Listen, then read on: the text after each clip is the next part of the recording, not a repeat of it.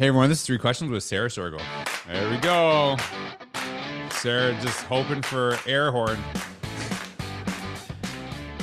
Hey, I, I'm actually very blessed. Uh, Sarah Sirgo uh, is is actually the chief of staff with is it Frederick County Public Schools? Am I right saying Yes, that? it is. Which, which I I Sarah told me this that I think you have the best job ever, and you like well I sorry I shouldn't say you have the best job ever because I don't really understand your job, and I know we're gonna learn more about it. You have an awesome job title because the only other person I know as chief of staff is like works under the president of the United States, right? Is that I'm Yeah, sure there's other ones, but that's the only one I've ever heard of before. You should have played me a more presidential opening. I, I know. I, I was gonna download the dun, dun, dun. I thought that would have been really good. Um, so Sarah is actually the chief of staff uh, of Frederick County Public Schools, but and which I am like really blessed. I'm really excited. I'm actually joining you all uh, coming up very very soon, and I know uh, several people from your district that I've connected with over the years. So I'm just really excited to join you all. But Sarah's been uh, a teacher, speech language pathologist, principal, work with principals, has a ton uh, of different um, you know work that she does. But she also has a website you can check it down. Uh, Lead to support. Uh, it, it is in the URL down below. And um, and full disclosure, we're going to talk about this in another podcast. Uh, we were we always kind of like I always try to brief and learn about my guests before, and she said this term professionally irreverent and I was like, I don't know what irreverent means. And so she schooled me on this and I love it. So I think it's, I cannot wait to talk more about what that means. And so I, it's like, that's a little teaser for the next podcast. So you got to make sure people got to listen to that one too. Yeah, it's a good good thing when I have the the host having to look up words I've shared already.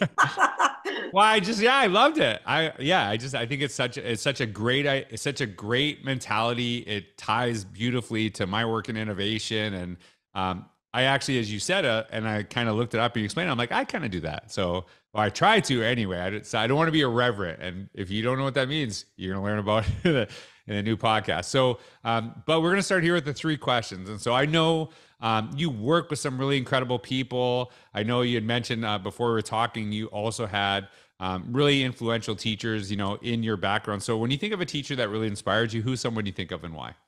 So you know when you when I think about this question, my favorite and most influential people in my career are people who've been with me through multiple seasons of my life. And I've been fortunate that I've had a lot of teachers and people who've mentored me who've sort of seen me through these seasons. So I love this question. I think you'll love this story about my kindergarten teacher, Jeff Martinez. Um, Jeff was my teacher his first year of teaching. And what I learned from Jeff as he saw me at the very beginning of my educational career was he sort of embraced this idea that kids are exactly who they are from the very beginning and sort of this we have to sort of figure out how to magnify their strengths so i tell this story that um, on my kindergarten report card or parent conference that he had with my mother he told my mother that um, what he noticed about me was that my favorite thing to do was to finish my work quickly and then get up and help everybody else finish wow. theirs and I mean that if you, you know, people who know me and work with me are like, "Oh my gosh, you've been the same person since you were 5 years old." What I love about that story is not only did Jeff see that at the very beginning of my career, he went on to become a principal himself, Hmm. and then when I became a principal, he was assigned to me as my mentor. So he was with me my first year in school and my first year as a principal and has always sort of influenced me by saying embrace kids and adults where they are and bring out their strengths. So I, I just can't sort of ever reflect on my experience without talking about um, my beloved Jeff Martinez. Well, you know it's coming. I know you've been waiting for this. A little air, a little air horn for Jeff. I that is such a powerful story, right? And like, you know, thinking about even even some of the even some of the stuff that I uh, I re- like I distinctly remember one student that I worked with as a principal who was a troublemaker and big, big time troublemaker. And I actually um, remember a teacher really struggling with him. I said, the thing that I know I noticed about this kid, this kid can read people amazingly well, and he will like go to where it hurts the most. Like he he was like a manipulator. He could figure stuff out. So this is I know this sounds horrible, and a lot of people, if you, if you don't, if you cut me off right now, it's going to sound like a horrible story. I'm like, this kid actually has a gift. We have to get him to figure out how to use it for good instead of evil because he was using it for evil at the time, right? Like the ability to like read people, understand who you're connecting with, and then actually use it to like, and sometimes even the stuff that we see as a negative, a bad thing, can we actually help kids use it for a beneficial purpose. Sometimes, you know, sometimes the things that we deem as weaknesses. That great book. I don't know if you've ever read it. The Malcolm Gladwell, David and Goliath book talks about mm-hmm. one of the things I remember really sticking out. Um, uh, he said a lot of CEOs actually have dyslexia, and mm. the reason they become CEOs, and this is from my memory that that I remember shared, is because they actually have this incredible attention to detail. And so it's actually kind of looking at sometimes the thing that we might say is like a weakness actually could be a strength, right? If we kind of shift people to that way too. So I just love that.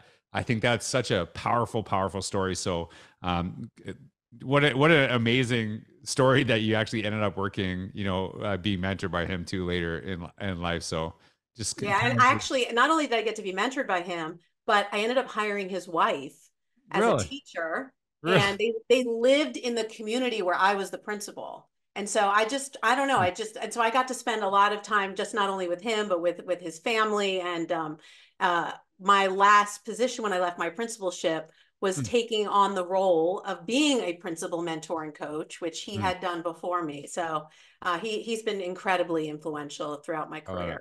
I love it. And so that actually like lends beautifully to the next question. So I know you've done a lot of work with principals. I know you've been one, and I know you still continue to do this. You know, in your role, uh, you know, with Frederick County right now. So when you think of a great principal or a great administrator, who's someone you think of and why? You can't say Jeff because we can't. No. It's be a Jeff podcast. You got to use someone else here too. Well, so, you know, again, same thing. Another person who's been with me throughout so many seasons of my life, and that would be um, Bobby Jasper, Barbara, Bobby Jasper. So, Bobby was my very first principal when I was a fresh out of grad school, new speech pathologist. She hired me at one of the elementary schools that I worked at and again very quickly sort of mentored me and coached me and you know um, sort of asked me to dream for more for hmm. myself than i would have probably ever dreamed for myself on my own and um, a couple of years after i'd been at the school she moved on to a central office position we stayed in touch she decided to go back and be a principal again at a different school and brought me with her to help hmm. her um, coordinate special education programming and make a program she had full inclusion and so i got to be her um, coordinator. They eliminated my job after a year, and she said, "Ah, just stay on and be my assistant principal. You're basically that anyway." I stayed with her as an assistant principal. Huh. Um, so she mentored me into leadership. And the very best part of this story is if you then fast forward past my principalship to then when I became a director of schools, I supervised her the last number of years of her career until she retired. And I'll never forget the time I called her and I said, Bobby, are you sitting down? And she said, Are you my boss? and I ended up supervising her um, until she retired. And so I just learned so much from her about courage and about bravery and about being irreverent and about innovation um, that really has informed pretty much all of my practice. And so, and we're still still colleagues, mentors, uh, and friends today. You, you, well, that's good because you know it could have went a different way after being her boss. So I, that shows something about you, so give Bobby little. I, I, always I always try to add like a, a, a story, you know, yeah. my own context, something similar. I heard the only thing I could think of, and when you said Barbara and you said Bobby, there's a I don't know if you've ever seen the show Flight of the Conchords, but there's an episode where they think they fall in love with the same woman and they're fighting over her name being Barbara or Brabra. And that's the first thing I thought of. And now it's stuck in my head because that's at funny. the end of the show, she said funny. it's Brabra, B R A H B R A H. So every time I hear Barbara, I think Brabra. that's that's that's my contribution to this conversation right now. It, so. ra- it rounded out my story beautifully. That's, that's all I got. That's all I got. All right. Uh, I actually one of the things that really connected with me when we were talking before is really kind of the focus that you have on continuously grow growing and and really kind of helping people understand that wherever people are now, that it wasn't just immediate, there is a process. And so there's a ton of learning that happens. And I know you have an, an, incredible opportunity, you have an incredible job. I know that it's it is a unique position. I think it's new. The title for sure is new. Um, but you know, people look at that, they hear the title, and then like kind of think you were born there. But in reality, there's a lot of stuff that you learn. So when you can go, if you go back and look at your first year teaching, like when you started in the profession, if you can go back and give yourself some advice, what would that be? So my favorite, um, I love quotes, right? And I love sharing them and and you, drawing inspiration and meaning from them. But I don't know if you have you ever seen the uh, is like a little video from Kara Lawson, who is the head of the Duke women's basketball team. In mm. fact, I actually heard recently that she's also going to be the assistant coach for the women's Olympic mm, basketball team. Yeah. And she did this video that to me, the quote, it's called about hard, doing hard better. So if I could go back and talk to my first year self, I would say none of this is going to get easier, but you are going to learn how to do hard better. And I love that. And I just, I, that sort of speaks to me at my deepest level because I think, you know, ed- public education and just our work in general is very cyclical. And so I know you were a principal, I was a principal, mm. you hmm. know, we live inside of these sort of academic seasons and we keep thinking, oh, you know, we'll get to the end of the year and the next year will be easier. Or, you know, and I always say like the challenges are always going to be there. The names and the faces may change or the nuances of those challenges may be different, but it's always just going to be hard. Mm. And so I just think if I wish I'd understood better that like easy isn't an actual destination. Mm. and mm. I think sometimes we keep working and think, well, if I just get to this, and if I just get to that, and if I just get to that, it's going to be easier. And right. I love Kara's quote it doesn't actually get easier. You just learn how to do hard better.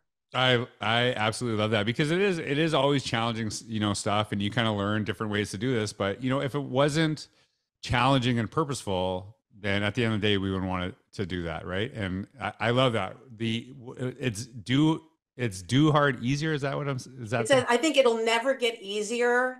You learn how to do hard better. I love that. That is such a wonderful way to do this. And so make sure you connect with Sarah. You can actually uh, check out her website, and she has a newsletter. You can you can subscribe to that as well. Um, lead to support, uh, and it is in the description down below. Sarah, I'm pumped to to uh, to talk to you more. I'm actually really excited to talk about professionally irreverent and what that means, and kind of like how we got into that conversation. But everyone, thank you so much for listening, Sarah. Thanks so much. I know you're like super busy and that you took time to be on my podcast. I'm really excited to join you and your staff um, very, very soon. So, everyone, thanks for listening. Sarah, thanks, thank you so much for your time.